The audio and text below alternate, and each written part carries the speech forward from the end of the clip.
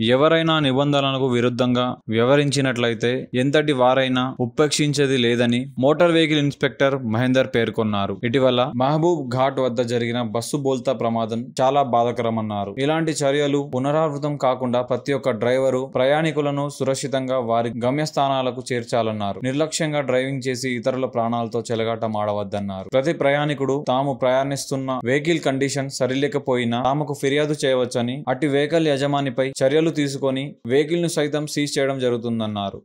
నా పేరు మహేందర్ మూడు ఇన్స్పెక్టర్ నిర్మల్ జిల్లాలో పనిచేస్తున్నా regarding CC bus CC bus సంఘటన జరగడం దురదృష్టకరం. అలాంటి సంఘటన జరగ పునరావృతం పెట్టకూడదు ఈ విషయంలో ఏంటంటే జనరల్ డ్రైవర్ కూడా బాధ్యత వహించాలి. ఇంకోటి అది అది ఎలా జరిగిందనేది ఇంకా ఎంక్వైరీ నడుస్తుంది ఎంక్వైరీ నడుస్తుంది. ఇప్పటికైతే కంటిన్యూ రాలేదు. అంటే దేవుడి దేవుడిగా జరిగింది ఏంటంటే ఒకటి ఒకరు చనిపోవడం వల్ల ఒక అదృష్టంగా భావించాలి అంటే మేజర్ ఎక్కువ ఫెటిలిటీ లేకపోవడం.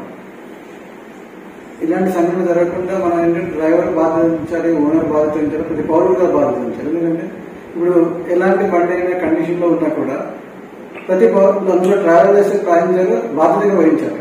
ఎందుకంటే ఆ డ్రైవర్ నెగ్లిజెన్స్ కానీ మంచి రాసి ఉంటే బండి ఆపి కన్సర్న్ ఆర్టీఓ కానీ పోలీస్ డిపార్ట్మెంట్ ఇంటిమేషన్ ఇస్తే ఇలాంటి కేసులు పునరావృత కావ- కావేమో నేను అనుకుంటున్నాను.